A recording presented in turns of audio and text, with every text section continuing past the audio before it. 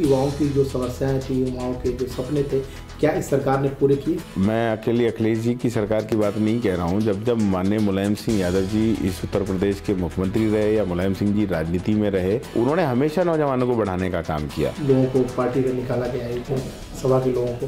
क्या मानना है उनको पार्टी में वापस होना चाहिए था तो नेताजी के हाथ जोड़ के पैर पकड़ के हम सारे लोग माफ़ी मांग सकते हैं और हम लोगों को पूरा विश्वास है नेताजी हमें माफ़ कर सकते हैं। पूरा अधिकार टिकट का अखिलेश यादव को दिया जाए। तो मुझे लगता है कि पार्टी की स्थिति अगले चुनाव में और बेहतर है सारे लोगों से फीडबैक लेके नेताजी प्रत्याशी का डिसीज़न करते हैं। अमर सिंह ने कहा कि न खाता न भाई जो नेताजी ने कहा वही सही। निश्चित तौर पर उन्होंने ठीक कहा। क्या लगता है कोई असर रहेगा ओबीसी का? जो रिज़ल्ट हुआ था बिहार के अंदर मैं समझता हूँ उत्तर प्रदेश के अंदर भी उनका वही रिज़ल्ट होने जा रहा है। कितने कोटा धारकों पे कार्रवाई की आपने पूरे प्रदेश में? अकेले कोटेदार नहीं जो जिम्मेदार अधिकारी कर्मचारी उनके खिलाफ भी हम लोगों ने कार्रवाई करने का काम किया है। पिछले दिनों जो वहाँ सांप्रदायिक दंगे हुए उससे कहीं ना लगता है कि अल्पसंख्यकों का विश्वास सरकार से घटा। मैं जहाँ तक कहता हूँ ये विपक्षियों का आरोप है।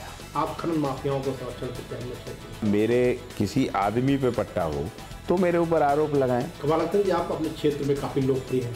आपकी पत्नी लोकसभा चुनाव हार गई। जब कोई चीज़ हिंदू और मुसलमान के नाम पे किसी चीज़ का फैसला होने लगे तो निश्चित तौर पे जो माइनॉरिटी के लोग हैं वो तो हार ही जाएँगे। देखिए मेरे साथ समय संवाद।